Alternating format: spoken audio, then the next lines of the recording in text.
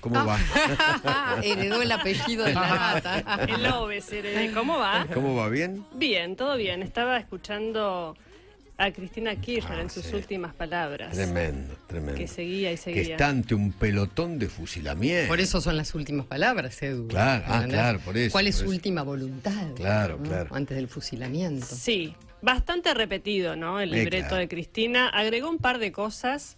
Una, no sé si lo comentaron, porque lo estaba escuchando, lo de Brenda Uliarte, que dice, Sí. Brenda seguía en Twitter al fiscal Luciano. Eso debe ser una prueba fundamental, Oh, ¿no? Eh, la- ojo a quién seguís, no, ¿eh? Tremendo. Sí, sí, sí, sí. Y lo último que acá... Porque eso, sí. eso pa- pa- para mí, digo, en la cabeza, en la cabeza, ¿no? De, de- de la teoría conspirativa de, o- sí, sí, conspirativa de Cristina es, a ver, a ver, si- a ver si más o menos. A ver si de- armamos Sí, el... Sí, el- a ver. trato de interpretar.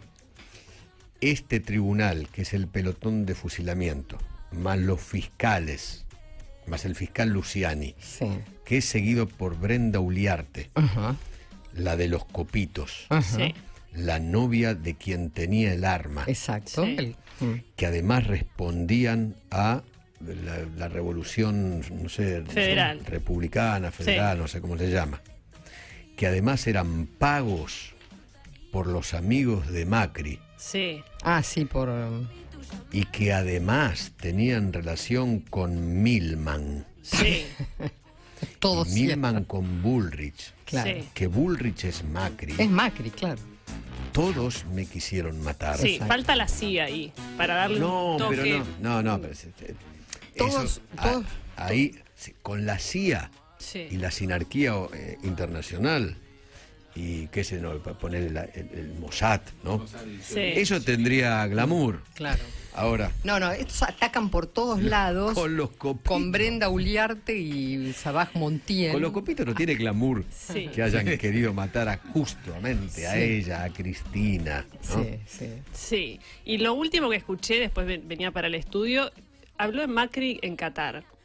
No sé, no, no terminé de escuchar todo lo que, que- lo- digamos, el, el- cómo venía y cómo terminó el relato, pero fue lo último que escuché antes de venir caminando para el estudio, con lo cual... Que habló Macri en Qatar. No, que habló ella sobre... Sobre Macri en Macri en Qatar. Qatar. Sí, en, En sus últimas palabras. últimas palabras. de- en la causa de obra pública. Sí, es genial, y bueno. es genial. Tiene que ver. Y bueno, si habló de, habló de Brenda Uliarte, ¿cómo no va a hablar de Macri? Seguro que Brenda Uliarte y pensaba ir con Macri al, al Mundial de Qatar y ¿Ves, porque ves- ves está que, presa. ves que no estoy tan equivocado?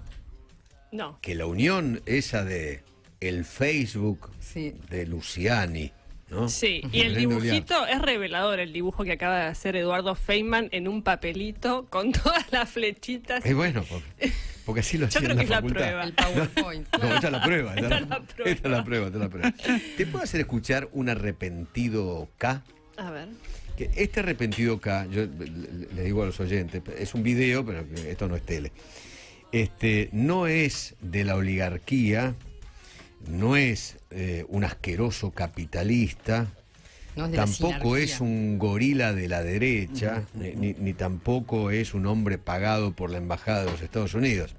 Un simple trabajador ¿m? que le, le- le dicen, a ver, grábame, grábame que quiero mandarle un mensaje a Alberto y Cristina. Escúchalo. ¿Cómo puede ser, señor presidente Fernández, y al todo el equipo? ¿Cómo puede ser Cristina Fernández de Kirchner que está calladita? ¿Cómo puede ser que esté caro el pan, la carne, el aceite, y etcétera? A un militante, un compañero cronista, así como le he criticado a Macri en su momento por gasoil. ¿Qué le pasa, muchacho? ¿Qué le pasa? Usted no siente hambre, no siente sed, no siente seca porque cuánto ganan. Paren la mano. Está todo caro. ¿Qué nos pasa, muchachos? ¿Qué nos pasa? Se olvidaron de nosotros, del trabajador. Ya nos estamos dando más, estamos apenas. Todo caro, compañeros, todo caro, no se dan cuenta. ¿Qué le pasa, presidente y todo el equipo? ¿Qué le pasa, compañero? Cualquier momento lo vamos a levantar. Eso están buscando. Lo vemos, gente. ¿Te das cuenta cuál es la preocupación de la gente de a pie, Sí. del metro cuadrado, del día a día? es esto. Sí. No es lo de esta señora hablando del pelotón de fusilamiento y el lofer. Sí, y, y vos fíjate que la respuesta que hubo, eso no va a bajar la inflación, pero la respuesta del gobierno fue gran plan de congelamiento hace tres semanas. Sí. Anda en- eso, supongamos que eso arregla la inflación, que no, ya sabemos que no, pero bueno, fue un anuncio. ¿Están los precios justos? ¿Qué sé yo? No, No. no sé. No. vos no. No, ¿Está bien, María, que le, le responda así? No sé. no vos no, no, sé vos es ¿sabés? No sé, vos no, no sé. Cotillones eso. Es cotillón, pero, pero por lo menos hagan que lo hacen. Claro. O sea, hagan que lo hacen, no están. Cuando uno va a buscar, yo a veces voy al supermercado y miro para. Primero, ya que te pidan que vos controles con una aplicación Claro, y claro. que denuncies. O sea, uno si va al supermercado tiene el tiempito justo. Que vas a estar dos horas Claro. para hacer el trabajo que en todo caso Exacto.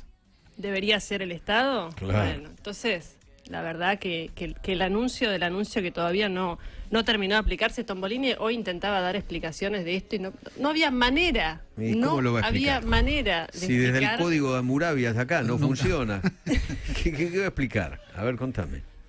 Y bueno, yo los busco igual a los precios, a ver si están. ¿Sí? están. Sí. No te me rías.